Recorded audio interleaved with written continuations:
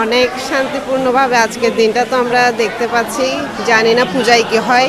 ঈশ্বর যেন সব কিছু সঠিকভাবে রাখে, সবার মধ্যে যেন শুভ বুদ্ধির উদয় হয়, অশুভ বুদ্ধি যেন সবার মাঝ থেকে দূরে চলে যায়।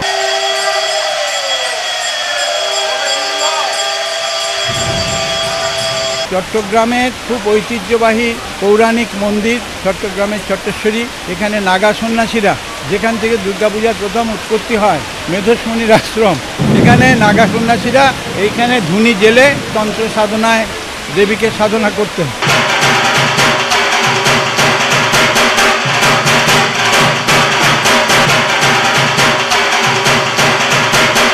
খুব পুরনো একটা নিম গাছ ছিল, দুশো বছরের। সেই নিম গাছটা দিয়ে দেবী দুর্গার মূর্তি তৈরি হয়। সবাই মিলে উৎসব কর আনন্দ করার ভিতর দিয়ে দুর্গোৎসব হয়েছিল। এখানে বলা হচ্ছে, যজ্ঞার্থে পশুবং খ্রিস্টার যজ্ঞার্থে পশু ঘাতনাম অর্থাৎ আমাদের মন থেকে সমস্ত পশুত্বকে বাদ দিয়ে আমরা যাতে মানবতাটাকে ভিতরে প্রতিষ্ঠা করি। মেধসমুনির আশ্রমে নাগা সন্ন্যাসীরা ভারতের ত্রিপুরা রাজ্যের ওদিক দিয়ে সেই নাগা বাবারা ওখানে এসে প্রবেশ করেছেন এবং মেধসমণির আশ্রমে এই পুজোটা হতো, চণ্ডীপাঠ হতো, সে রাজ ঋষি সাধু ছাড়া তো এই ধরনের তন্ত্র সাধনা করতে পারেন ওনারা করে এসছেন।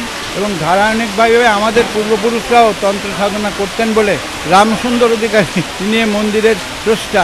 রামসুন্দর অধিকারীর আমি পৌত্র। আমরা ধারাবাহিকভাবে আজকে দুশো বছর মায়ের পুজো আমাদের বংশানুষ্ঠান করে আসছি এবং চট্টগ্রামের চট্টেশ্বরী নাম অত্যন্ত খ্যাত।